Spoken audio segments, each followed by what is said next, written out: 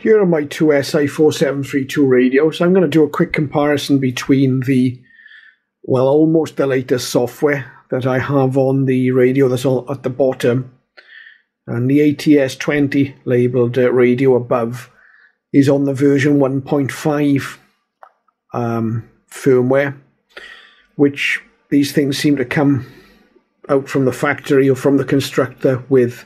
They always seem to be on the one, I think it's 1.1.5. I'll turn them both on. I'll try and turn them both on at exactly the same time. And we'll see the difference in boot up. So it's 1.1.5 and 3.0.7 is the newer one.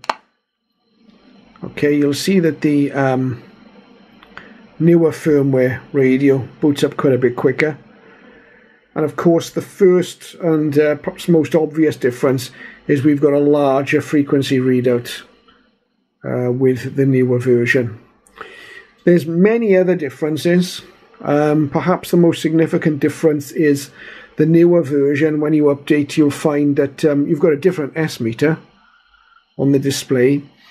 But a lot of the functions are now controlled by the encoder wheel. So, for example, if we want to change band, we press the band button here, the band up button, once, and you'll see that the, the AM there is highlighted and turning the encoder switches us between the different bands. We press the band up button again and we go back to normal. The old version of the firmware, it was uh, a matter of continually pressing the band up button to step up or band down button to step down. Volume again, it's the same. We press on the newer firmware, we press the volume up button We've got a little highlighted block next to the volume. We turn the encoder wheel up for an increase in volume and we turn it down similarly for a decrease in volume. On the old receiver we use the volume up and volume down buttons to step through. Tuning step again on the newer version we press the step button and we can cycle through the available tuning steps we have more tuning steps, of course, on the, the updated. We have a 9 kilohertz step for medium wave in Europe. We have a 50 kilohertz step and a 100 kilohertz step. The old firmware, we must use the step button and keep pressing for the steps. We have less choice of frequency steps on the old version. We have 1, 5 and 10 and that's it, 1, 5 and 10. So, number of differences. Um, I prefer the newer version.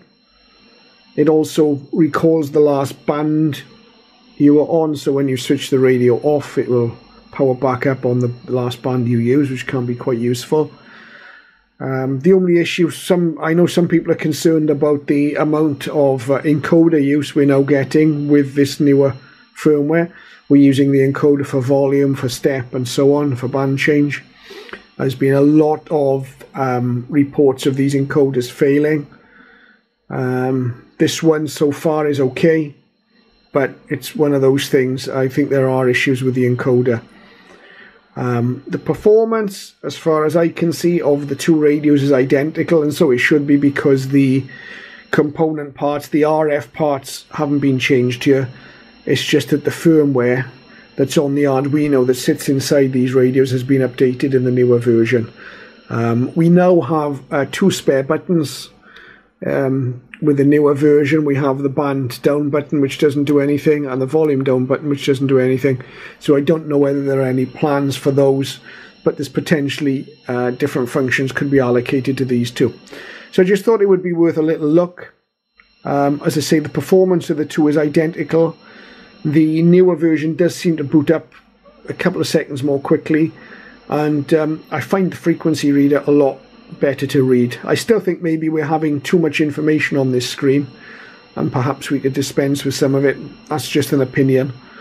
Um, but certainly, it's a big improvement over the original version. Thank you for watching.